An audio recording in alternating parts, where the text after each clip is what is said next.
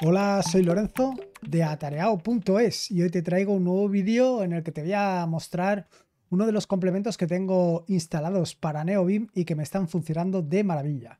Se trata de Travel, que es básicamente un complemento que te va a ayudar eh, pues para mostrarte diagnósticos, referencias, errores, en fin, para todo aquello que cometemos habitualmente.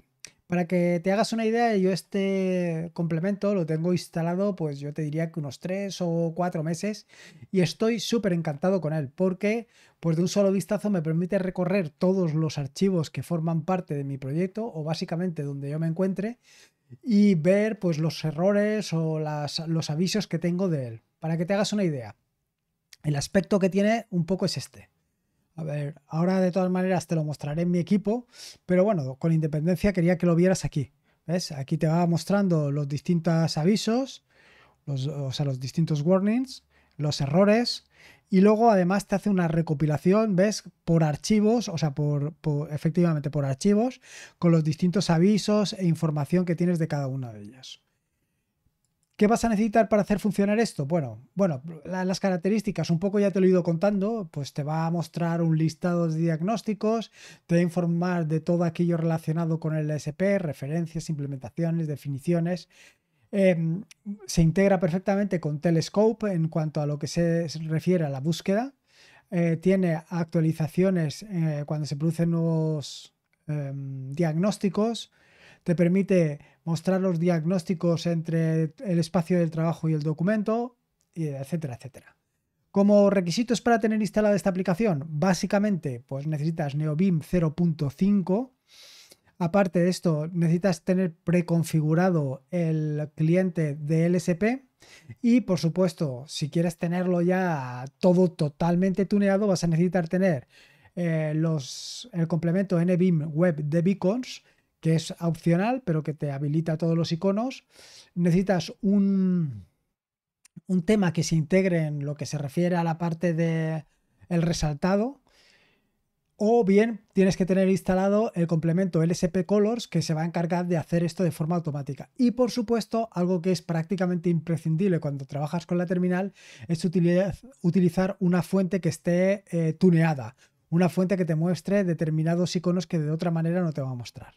Para la instalación, bueno, aquí va a depender un poco del que estés utilizando. Yo ahora te voy a, mostrar la instalación que tengo yo con Packer y un poco para que veas todas las opciones que tienes aquí, que tienes una verdadera barbaridad de opciones.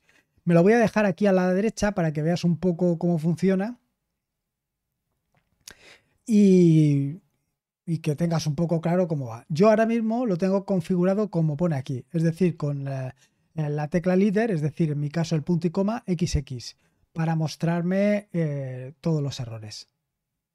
Y luego además tienes aquí la parte de la API, Telescope, todos los colores, etcétera, etcétera. Así que nada, voy a pasar esto a este lado. Voy a hacer esto un pelín más pequeño, ya sé que se va a ver menos, pero... Y voy a arrancar BIM. Pero bueno, voy a arrancar BIM. Lo que voy a arrancar primero es para que veas cómo lo tengo yo configurado. Config eh, NBIM, Lua, plugins y este es Travel. Vale, esta es mi configuración de Travel. Ojo, eh, ojo, ojo, ojo al dato. Aquí tienes toda la configuración. Yo creo que es básicamente esta de aquí. Vamos a echarle un vistazo. Button 1050, Workspace Diagnostics.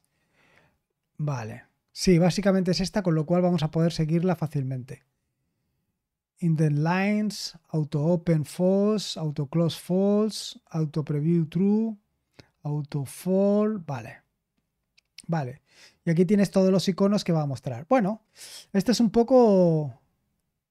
Mira, y aquí está la opción de que te muestre los iconos cuando no tienes una fuente que esté tuneada. Vale, esto ya lo tenemos. Ahora me voy a ir a, a bueno, aquí donde estoy precisamente. Y vamos a abrir el archivo main. Tarda un poquito porque tiene que procesar con Rust este, esta aplicación que estoy desarrollando, pero ahora mismo la vamos a tener. Si yo ahora pulso la tecla líder XX, si te das cuenta en la parte inferior lo que me muestra es eh, todos los warnings, en este caso no tengo ningún error, No es que lo haya hecho a posta, es que estoy trabajando en ello y por eso no tiene ningún error. Pero si te vas fijando, me voy a ir desplazando, se va moviendo entre los distintos warning que tengo.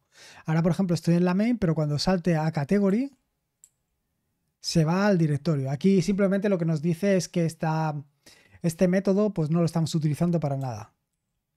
Igual que aquí. Aquí esta variable no se utiliza para nada. Aquí, por ejemplo, lo que dice es que em, la variable esta, si no la utilicemos para nada, lo que tenemos que hacer es prealimentarla o prefijarla con el menos x. Bueno, de la misma manera tenemos los em, comandos. Si hacemos travel, dos puntos. Bueno, ahora ya lo he cerrado, pero es punto punto x, dos puntos, travel. Si le damos a close, pues la cierra. De la misma manera, travel la abre, travel y travel, refresh. Vale, ¿ves? Un poco. Aquí ya te muestra todos los modos y yo tengo definidas básicamente estas eh, acciones. Por ejemplo, vamos a ver. Hemos dicho que es con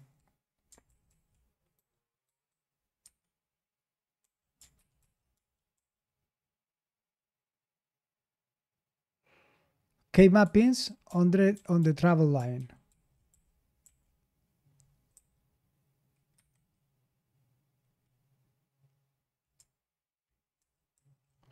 Aquí. Con Q salimos. Otra vez le doy. He dicho con Q salimos. Se refiere a estas líneas de aquí. Con escape igualmente salimos.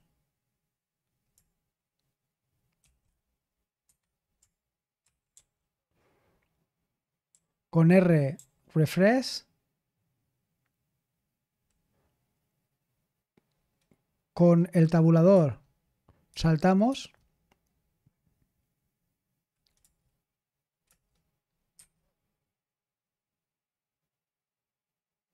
con control X, bueno, aquí sí que tenemos que estar bajo, control V,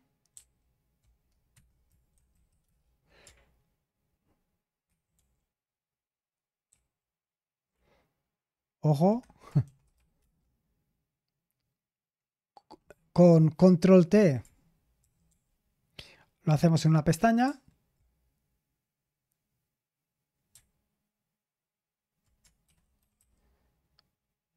Y aquí tienes algunas más, ¿no? Eh, toggle preview. vamos a ver con M toggle mode.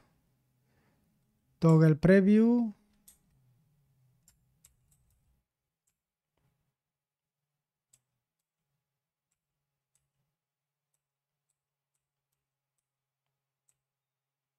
Dependiendo de dónde estés. ¿Qué más? Para cerrar carpeta, ZM, ZM, Z. Simplemente es que te cierra estas pestañitas.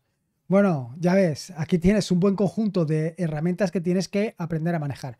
Pero sobre todo, y lo más interesante es que, claro, aquí yo estoy navegando en todo mi proyecto y me puedo desplazar fácilmente a lo largo y ancho de todo él para ir corrigiendo los distintos errores que haya ido produciendo mientras estaba escribiendo código.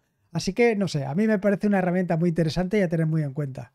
Y nada más, esto es un poco lo que quería enseñarte. Otro interesante, interesantísimo complemento que tienes disponible para Navem. Y esto es todo, amigos. Espero que te haya gustado este nuevo episodio del podcast, digo, bueno, del podcast de este vídeo y que lo hayas disfrutado. Y si puedes, acuérdate de suscribirte, hombre. Venga, hasta luego. A ver si consigo cerrar esto, que menuda la que he liado. Bueno, hasta luego.